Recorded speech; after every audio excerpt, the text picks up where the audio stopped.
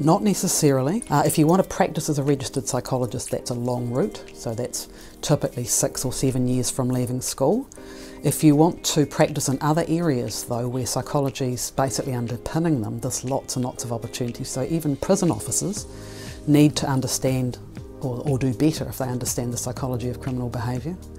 And probation officers need quite good skills in those areas, and we've got program facilitators who are running the rehabilitation programs and corrections that are at the lower levels, uh, and people doing sentence planning and case management.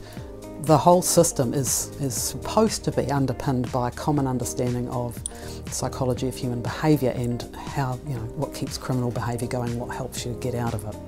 So just in one area of corrections there's lots of opportunities. Then we've got other fields like Oranga Tamariki, you know, and people work in the Ministry of Justice, they work for numerous non-governmental organisations like the many organisations doing work with helping resettle prisoners or connect, you know, family and whānau up so they are uh, working better together or working with uh, families that have been affected by family and whānau violence. Um, there's heaps, eh? There's just heaps of opportunity.